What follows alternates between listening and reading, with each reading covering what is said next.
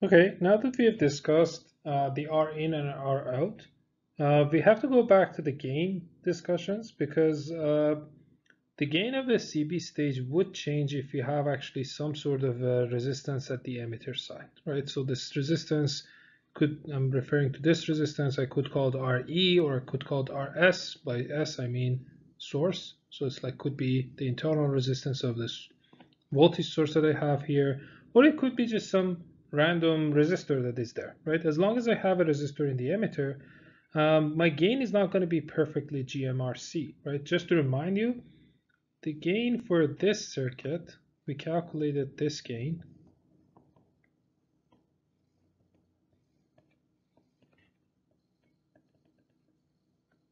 So when this was V in and this was RC, this was V out, the gain of this circuit was V out over V in was equal to GM RC. That's one of the first things that we actually calculated for common base amplifiers, right? Well, over there, the base was connected to some biasing, but that you know that that doesn't really matter. Like you could have a battery here or not. That doesn't really matter because when you're doing AC analysis, the base becomes ground anyway, right? Now, this circuit, the circuit that we're, we're like basically trying to solve it or trying to analyze it has an extra component that has this RS or some resistance at the emitter. And the problem is that, well, it means that compared to the circuit on the right, here in the on the right we had we knew the voltage at the emitter is going to be V in, right? But then now for the circuit on the left, we know that the voltage at the emitter, which is like um, I marked it as X, this Vx and Vin are different, right? There's a resistor between them. There's some current flowing through here. So I do know that for, for a fact, Vx and Vin are not going to be the same. Therefore, my gain is going to be different, right? So how do I calculate the gain? Again, I can actually draw the small signal circuit and write KVLs and KCLs and do calculate the gain the same way that I calculated this guy. Or I can be smart about it and I can reduce this question, this circuit, to something that I know its gain, such as that one, and then, well, try to actually somehow relate them to each other. So let's go with this, this approach. We know that if somehow I connected, like, okay, or let, let's, let's say it this way. Um, I know that for this circuit, V out over V in is GMRC, right? This means that for this circuit, V out over Vx is GMRC right? So I know that the gain of like the, the, the voltage at here over the voltage at the emitter is going to be GMRC, right? So that's what I'm going to do. V out over here, right? Assuming that somehow I applied V in here. Assuming that I had this kind of situation and none of this existed, I would have had a gain of GMRC, right? So I'm going to say that V out over Vx is going to be GMRC. Now, what is V, like if I find Vx over V in, then I'm done, right? Because I know that V out over Vx times Vx over V in, well, the two Vx's cancel, it's going to give me V out over V in, right? So all I need to find out is what is Vx over V in. Well, how do I find that? I'm going to say, I'm going to focus on the resistance looking up from here what do I see from here? Because whatever, I'm going to call that R uh, seen by X, right? R seen. I know that whatever resistance I have there, uh, if I find that, then I can actually redraw my circuit as this. I have a V in. I have some RS. And then I have that R seen to ground right? Because I said when I say looking into like looking up what is the resistor, I mean what is the resistor that I can replace the entire circuit with it and it's connected to ground from that node to ground. So this is X, right?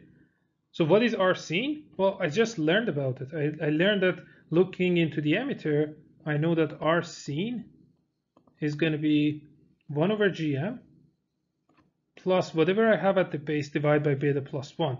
Well, there's no so let me actually write that. There is nothing at the base. So this is zero. So it's just going to be 1 over gm. Okay.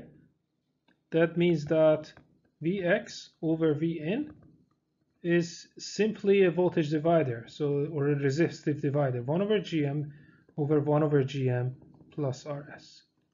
And I'm done. So therefore, my V out over V in is going to be 1 over Gm over 1 over Gm plus Rs times Gm RC that I had from here. Okay, and that's my gain. I didn't need to write a single KCL or KVL. I didn't need to draw the small signal circuit. I just reduced the circuit to something that I knew about. Like I knew this is simple to remember, right? The gain of a, a simple common base amplifier, right? The most basic common base amplifier. If I remember that, and like it's similar to the gain of common emitter amplifier. So like I have I have to remember one expression for two topologies, right? It's not a bad target.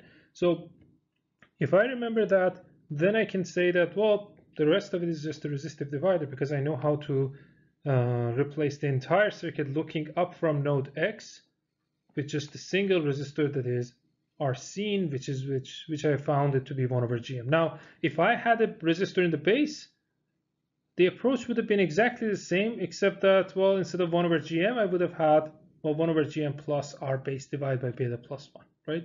So you can imagine that the approach is the same. It's just that like the expression might be slightly different depending on like what is in the circuit and what is not. Okay. Okay, now let's make this even more complicated. Let's say that I have both resistance at both uh, emitter and base. So I have both RE and RB.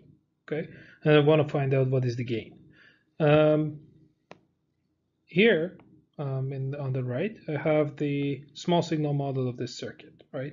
And I'm going to try to actually do the same, like use the same approach for finding the gain of this guy. I'm not going to write KVLs and KCLs as much as I can, right? Uh, first, I'm going to do a little bit of a comparison. I know that there is a circuit that I know, so let's call that circuit basic common base, that I know its gain is equal to GM RC. Okay, how does that uh, circuit look like? Well, in that circuit, there is no RB and there's no RE, right?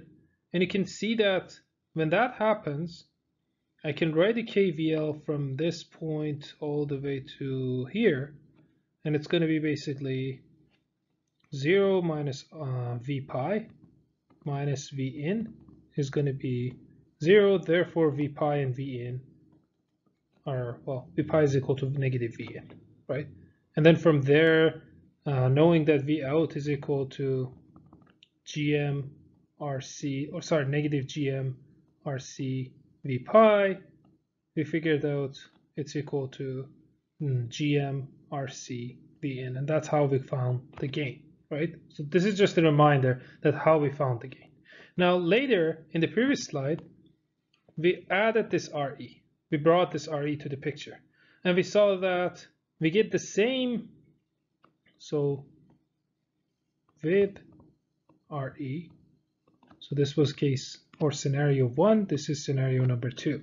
So with RE, what happened was that I still had that GMRC, but then I had this resistive divider between RE and R pi, right? And then because one of them had beta plus one times more current, I saw that it becomes um, 1 over gm over 1 over gm plus re. Okay.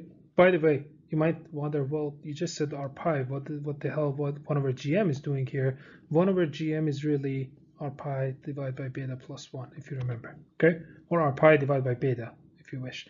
But the idea is that I realized that when I add this resistor Re, part of my signal was actually attenuated before being amplified by this gain, right?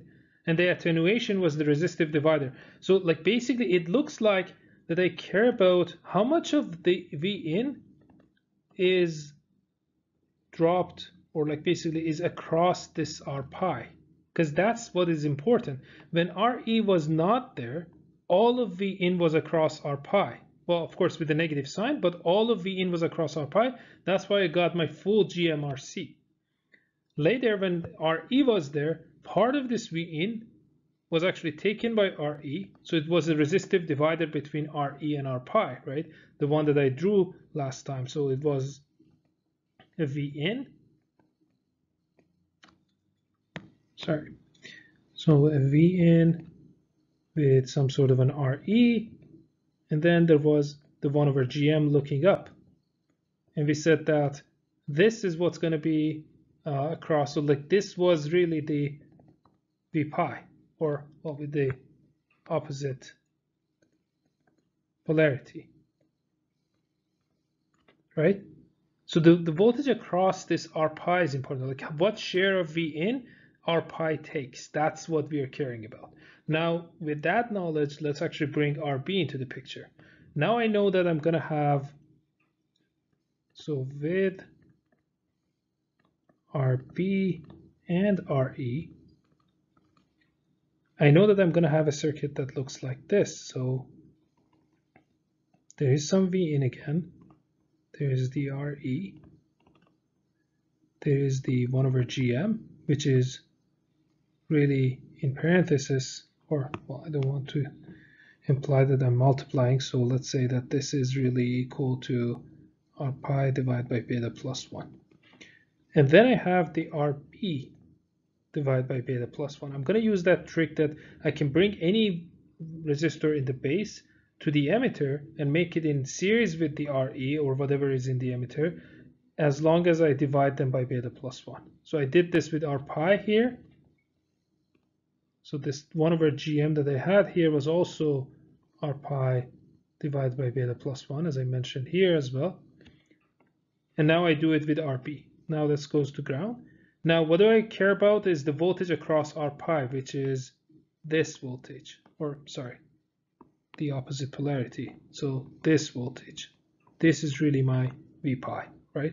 So it's like what share of all V in, like what, what share of V in is dropped across this 1 over GM? Well, that's easy to calculate. It's going to be just 1 over GM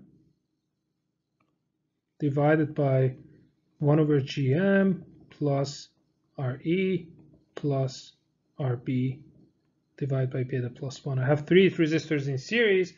Uh, I want to know what's the voltage across one of them. Well, we have learned this as one of the very first things in ECS 2200, right? Now I have the fraction. So like basically this multiplied by GM RC is going to give me the gain. So that's going to be my V out over V in. Okay. Again, I try to use simplification instead of actually writing down KVLs and KCLs.